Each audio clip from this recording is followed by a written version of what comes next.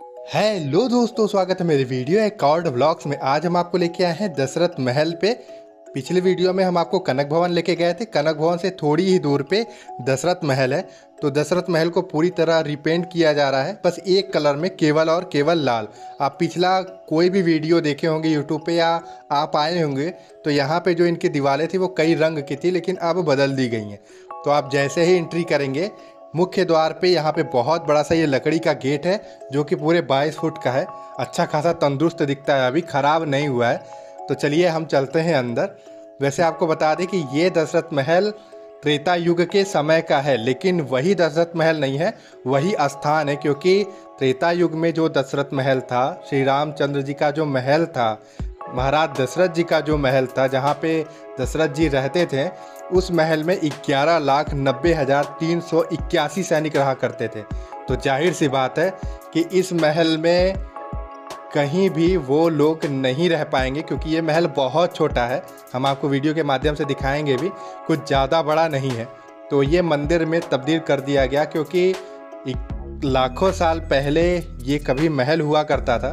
समय का दौर आया, कई बार यहाँ पे लूटपाट भी हुई तोड़ फोड़ भी की गई। मुस्लिम शासकों द्वारा तो बहुत कुछ बदल गया है। तो यहाँ पे इतने ढेर सारे आप जो जूठन पत्तल देख रहे हैं, यहाँ पे भी फ्री का खाना दिया जाता है। आप जब भी दशरथ महल आइएगा तो प्रसाद ग्रहण करिएगा दर्शन करने के बाद, दर्शन करने से पहले नहीं। तो यहाँ पे भी आपको सुबह छः बजे से लेकर रात के दस बजे तक फ्री में अनलिमिटेड भोजन दिया जाता है। आपको जितना मन करे उतना खाइए, जितनी बार मन करे उतनी बार खाइए। तो हमने आपको कनक भवन पे भी दिखाया था कि वहाँ पे भी फ्री का खाना दिया जाता है और यहाँ पे भी आपको फ्री का खाना दिया जाता है। तो चलिए हम चलते हैं महल के अंदर या मंदिर के अंदर।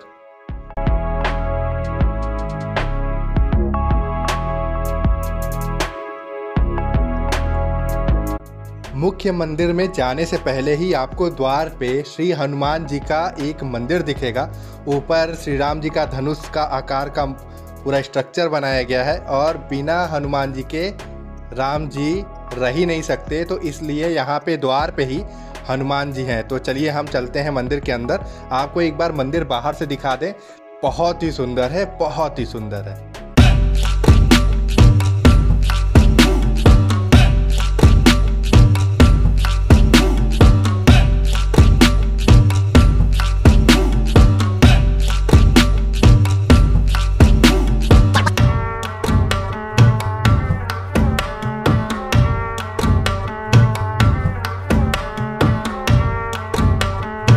हम आ चुके हैं मंदिर के अंदर। यहाँ पे अभी सारे श्रद्धालु लोग बैठ के इंतज़ार कर रहे हैं, क्योंकि अभी अभी यहाँ पे भगवान का भोग लगा है। तो भोग लगने के पंद्रह मिनट बाद ही पर्दा हटाया जाता है। वहाँ पे देख रहे हैं आप, लाल रंग का पर्दा गिरा होगा। तब तक हम आपको इस मंदिर के अंदर की भी सुंदरता दिखा देते हैं।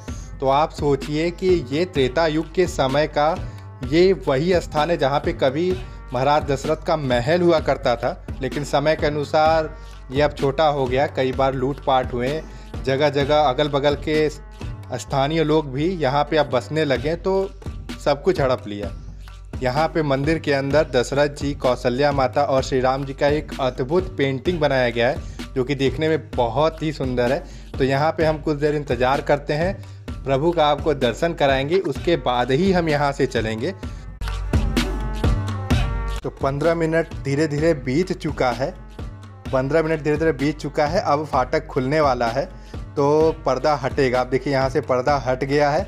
हम आपको श्री रामचंद्र जी का दर्शन कराते हैं, जो कि बहुत ही अद्भुत है। लेकिन यहाँ पे केवल श्री रामचंद्र जी ही नहीं हैं, सीता जी भी हैं, कौशल्या माता हैं। मतलब यहाँ पे पूरे परिवार के ही लोग बसते हैं। तो यहाँ पे केवल अकेले सीता जी नहीं हैं, अकेले राम जी नहीं हैं, क्योंकि ये दशरथ महल है। तो ज़ाहिर सी बात है, जहाँ मुख्य सदस्य होता है, वहीं पे सारे परिवार के लोग रहते हैं। तो यहाँ पे सारे परिवार के लोगों का मूर्ति है, यहाँ पे पूजा होती है। ये सिद्धपीठ स्थान भी है, जो कि काफ़ी सुंदर है। यहाँ पे आइएगा, ज़रूर दर्शन करिएगा। तो अब हम यहाँ से चलते हैं बाहर। हम बाहर अगले वीडियो में हम आपको लेके चलेंगे मनी पर्वत पे। तो हम मनी पर्वत की कहानी हम अगले वीडियो में ही बताएँगे। तब तक के लिए जय श्री राम। तब हम चलते हैं अब बाहर। आप आइएगा तो यहाँ पे निश्चिंत होकर घूमिएगा, क्योंकि जगह जगह फ्री का खाना मिलता है। कोई दिक्कत नहीं, और अयोध्या बहुत ही सुंदर नगरी है। तो यहाँ पे लोग यज्ञ कर रहे हैं अपने अपने पाठ पूजन का प्रयास कर रहे हैं।